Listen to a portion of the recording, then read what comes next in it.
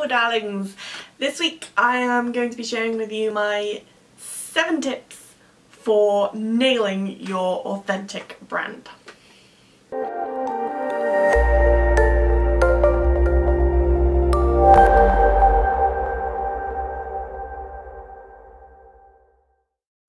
So you may remember that last year, back before I started vlogging, I wrote a blog post um, called uh, Are You Being Authentic or Faux-Authentic in Your Business?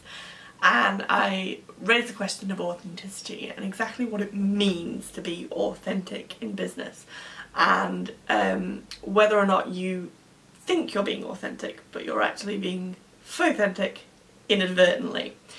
Um, so to follow up from that post I thought I would share with you my top tips for making sure you are absolutely authentic in your business and that you are totally nailing an authentic brand. Number one, and it's one of my favourite tips for a number of things, not just authenticity, but for authenticity it really is the absolute main thing you have to do and that is be true to you. One of my favourite quotes is actually from Dr. Seuss and it goes like this. Today you are you, that is truer than true. There is no one alive who is youer than you. I love this quote. I think it's absolutely brilliant and it just perfectly encapsulates what it is to have an authentic brand because an authentic brand is all about you and the truth of who you are and what you want to do both in your life and particularly importantly in your business. Now this is a really really simple concept but so many people get it wrong. In business it's vitally important that you share your truth.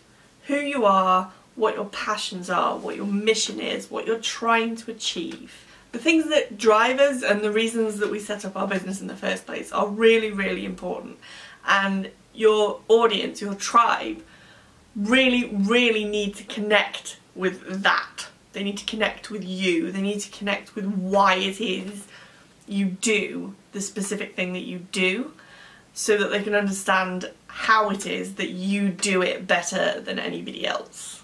Now, you're going to run into trouble with this one for several reasons. The first one is that you are in it for the money. If your passion is making money, you're going to struggle. Sorry. Now that's not to say that you shouldn't care about earning good money from the work that you do. What it means is that if all you care about is making money and you don't care how you do it, you're going to really struggle to build an authentic brand because people are going to sense that. They're going to sense that you're there to make green and you don't give a toss about anything else. You don't care about them. You don't care about providing something for them that's going to help them or enrich their life. All you care about is taking their money off them.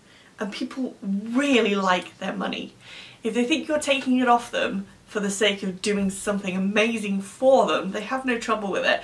But if they think you're just going to take it and run, if they think gonna, that you're going to take it and give them something substandard in return, because you don't really care whether what you're giving them is quality, all you care about is getting their money off them, they can sense that. People are very, very keenly aware of what is happening with their money. Okay, so if you're out to make green, if your passion is making money and nothing else, that's important. You can care about making money and other things and it'll work fine, but if you just care about the money, you're kind of screwed. The other way people really, really screw up in this area is if they think that there is a certain type of person who is going to appeal to their ideal clients if they think that the people that they're trying to attract are only going to like a certain personality. There's one flavour and that's the only flavour they like and you're not it, okay? They love mint chocolate chip and you just happen to be rum and raisin, okay? And you think, damn it, they're never gonna like me because I'm rum and raisin and they only like chocolate chip. So you put on a persona, you pretend to be the person that you believe they want you to be, the person that you believe that they will um, like or invest in or follow and you just, you're really shooting yourself in the foot here because for one thing, you're not psychic. You might think that you know what people want and what people will like, but the truth is you have no idea. And they may not even know, okay? They may think they only like a certain type of person, they may think they only like a certain type of thing and a certain way of doing things, but that could just be because they've never tried your way before. They've never met anyone like you before or seen anybody do things the way that you do them before. So they don't know whether they like you or not yet because they've never tried you, okay? You're a whole new brand of ice cream that they've never even tasted.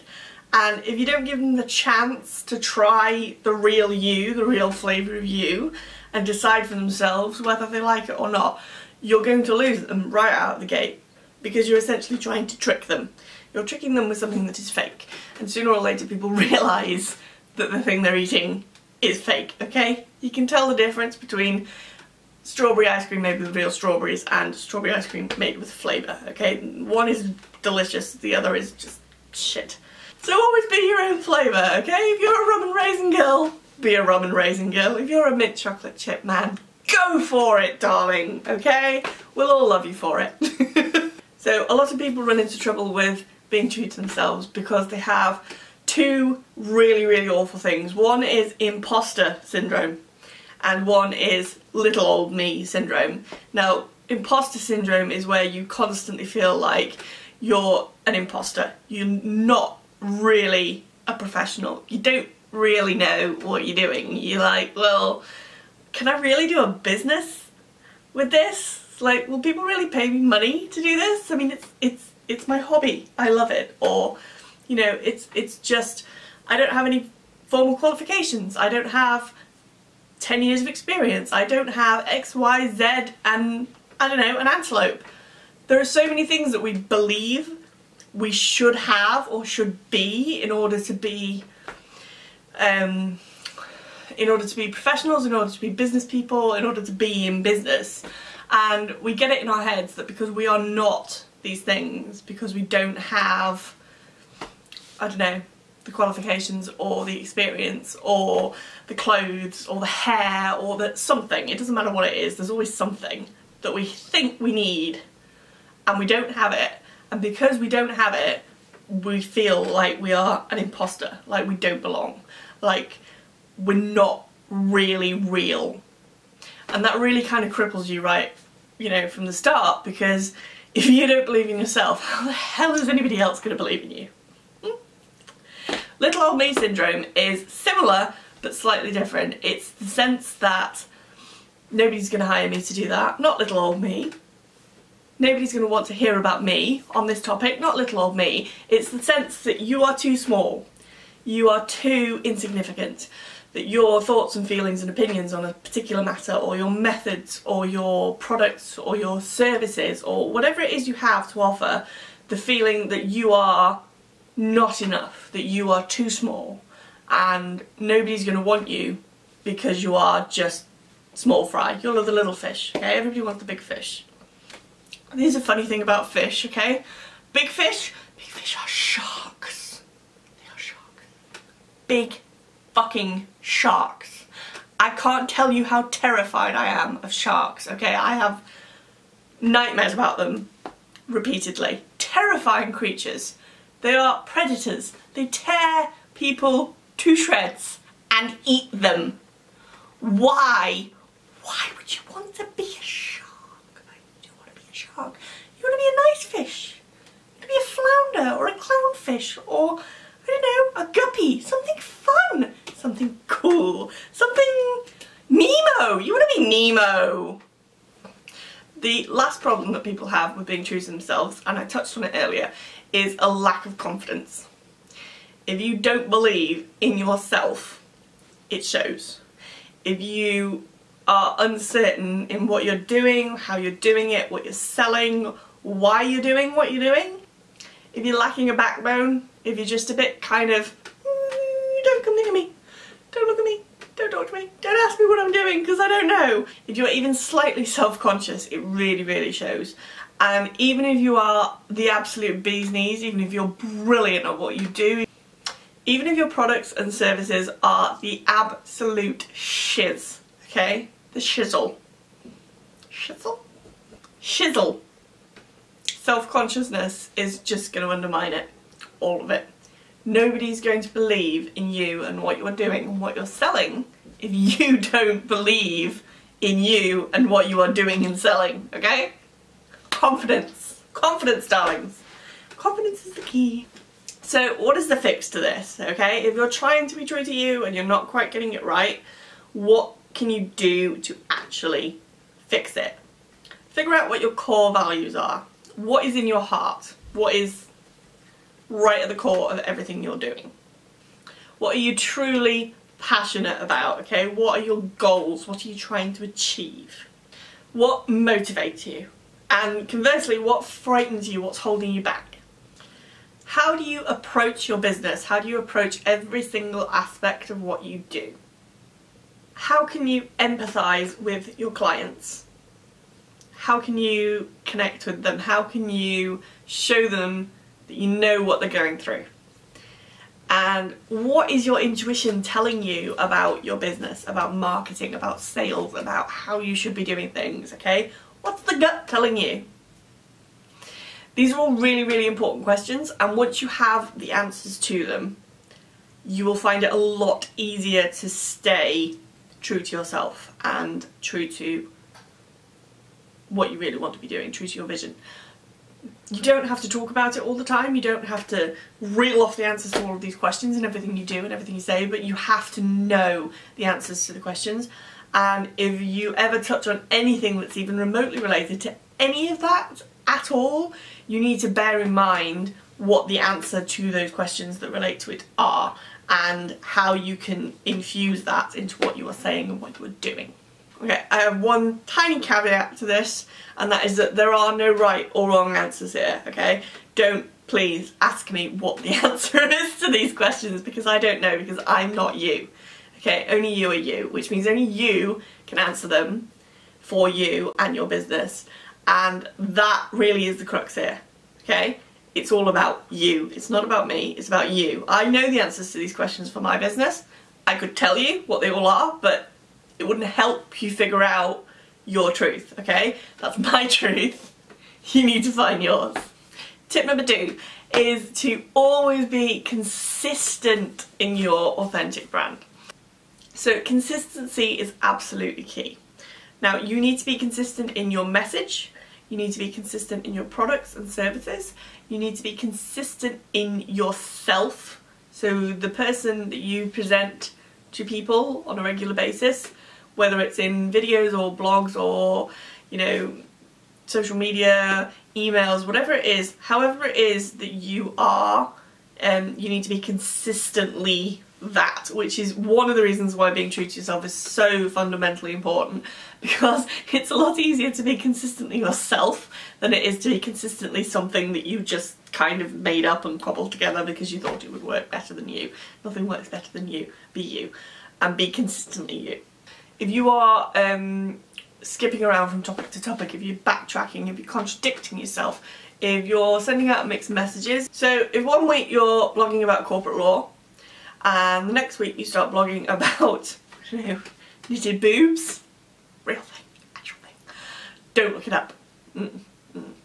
Um, you are going to really confuse your audience, okay? So you need to stick to core topics you need to stick to your message and what you're doing and you might be tempted to kind of throw in the odd random thing here and there and just start talking about something else one week because you think oh I'm always talking about corporate law and it's so boring I'm just going to talk about boobs.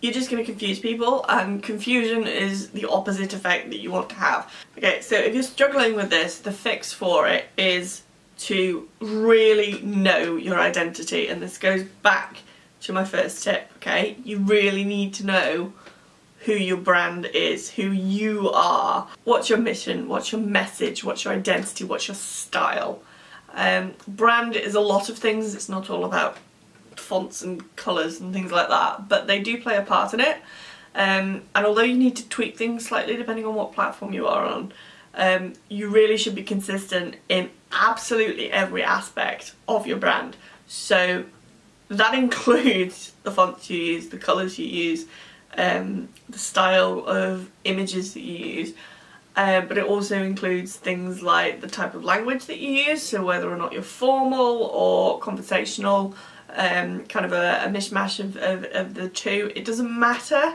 what you pick for all of this, okay? Just be consistent. And for those of you familiar with my Divine Blogging Design, which is my um, my signature blogging method, this is the core of it. This is what it's all about, is figuring out your identity and who you are as a brand. Um, I, and I use archetypes to do this, which I find really, really useful.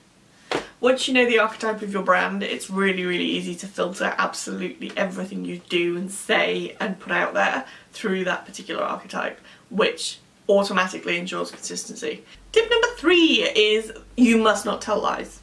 Mm -mm. No lies, okay? So when you're writing your copy, when you're recording your videos, imagine you're Harry Potter and you have a magic quill and every time you write something down that's a lie, it gets engraved in a bloody scrawl on your hand and it hurts, okay? It's painful. Lying is bad. So aside from the moral implications of telling lies, um, and I honestly, I really hate liars, um, from a business standpoint, it's just a really bad idea. Before you know it, you're living in a tangled web of lies from which there is no escape.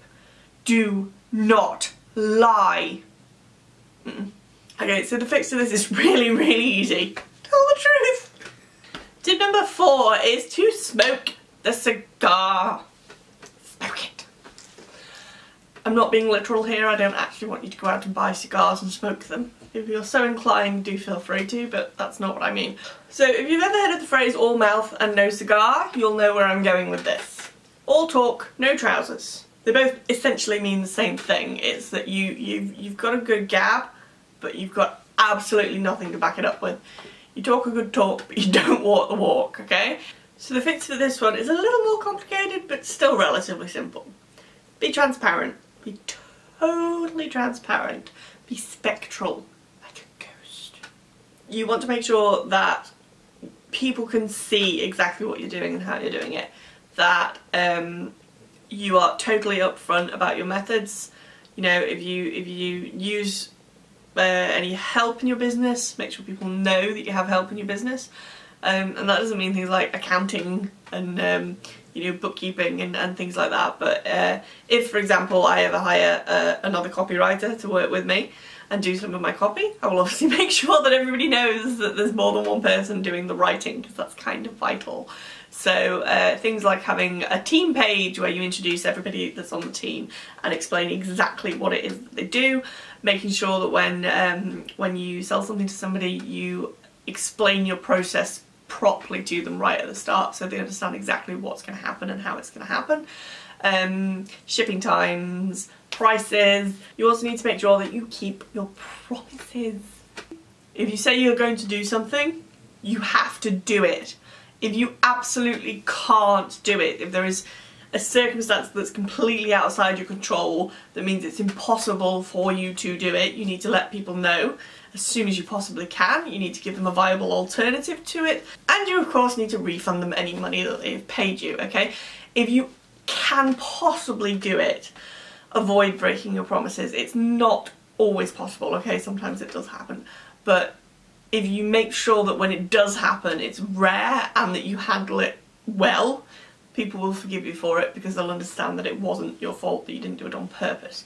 If, however, you're constantly saying, yeah, yeah, I'll do this, I'll do that, or yeah, I can get it done by then, I can get it done by then, and you know full well that you can't, um, you will develop a reputation as being unreliable, unpredictable, and untrustworthy. And that is not good. That is not good. No. Letting people take a peek behind the curtain is a really, really good way of doing it. Testimonials are also a brilliant way of demonstrating that you aren't just talking a good game, you actually have a good game, okay? The cigar has to have substance. That's the key here. You need to show that you have substance, that your business has substance, that there is really a lot to it, um, and that everything about it is good. Tip number five is to make yourself available. That doesn't mean you have to be at everybody's beck and call 24 hours a day, 7 days a week, but it does mean that you need to be present. You need to be a living, vital presence in your business. Now, that can mean many things. It can mean blogging. for example, that shows you are consistently present, you are there, you are doing things, you are constantly giving to people. Okay, you can vlog like I do. Hi, I'm here. Um, uh, it can also be things like social media, email marketing, anything that gives people a point of contact between you and them that goes both ways. That's really, really important, okay? You need to make yourself available, not just in the sense of putting yourself out there and letting people see you, but also making it really, really easy for them to talk back, alright? So blogs, vlogs, social media, anything of that nature, you can comment on it, or you should be able to, okay? Um, emails you can reply to. Um, websites, you know, you should have a contact form on there that's really easy to find, really simple to fill in, so people can get in touch with you whenever you want. Phone number, um, you know, email address, right there for people so they can just find you as easily as possible. And you should also make sure you have multiple ways of people to find you, okay? Multiple ways for people to get in touch with you, because you will find that different people have preferences. So as long as you make sure that everybody has um, several different ways of getting in touch with you so that there is something that they are comfortable doing. Um, so for example, if, if they hate phone calls, make sure they can email you. If they hate emails, make sure they can call you.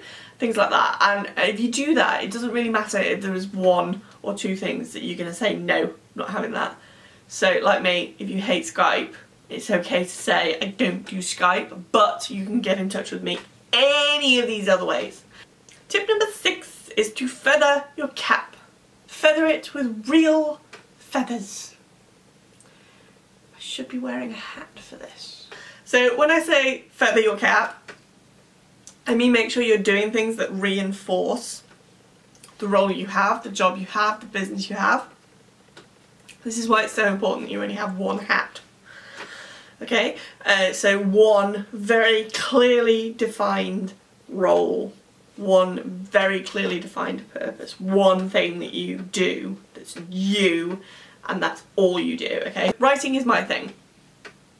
Writing for business is my more specific thing and blogging for business is my real thing, okay? That's my absolute niche.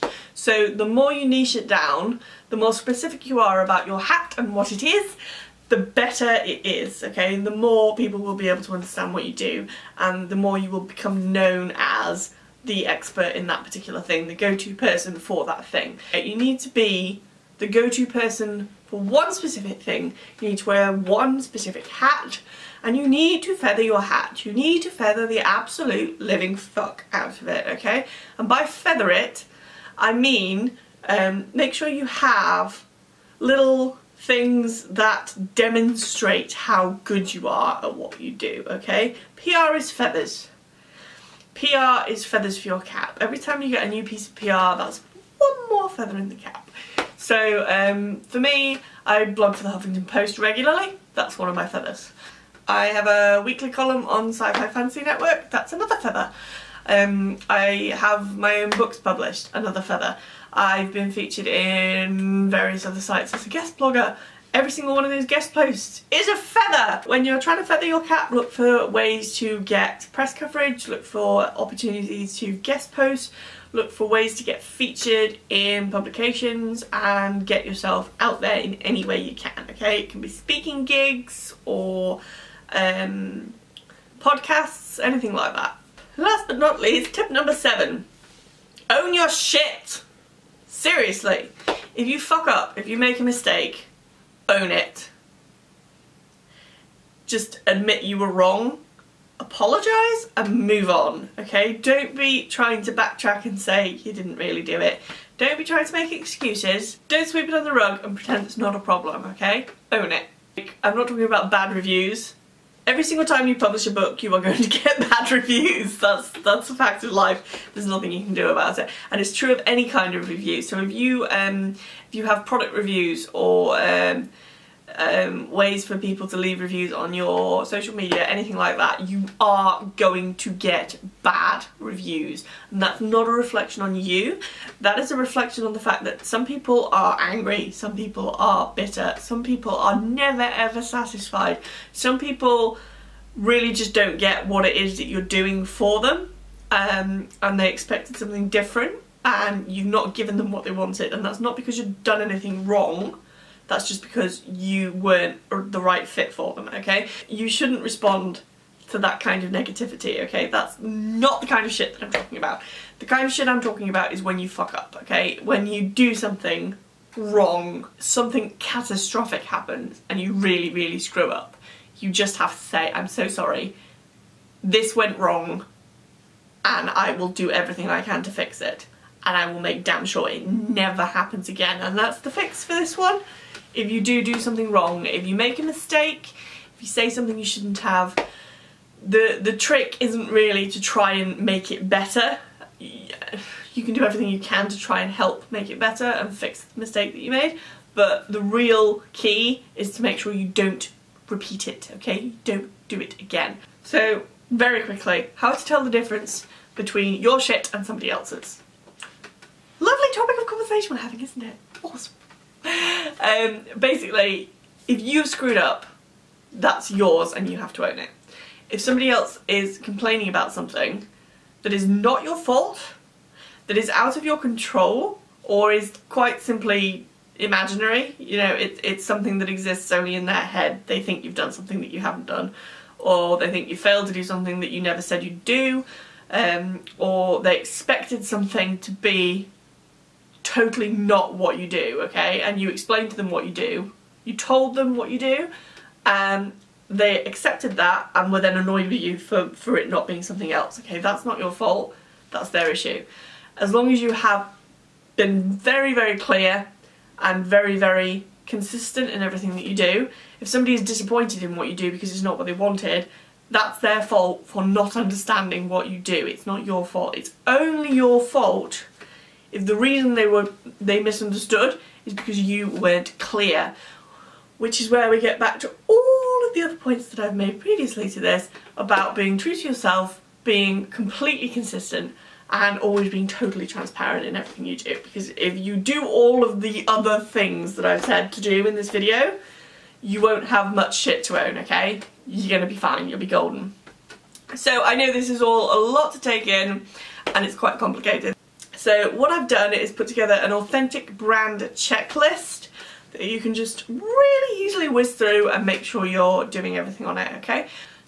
So darlings, I hope you've enjoyed this video, feathers, swearing and all. Uh, if so, do please like it and share it and comment on it and ask me any questions you may have. And I will see you next week.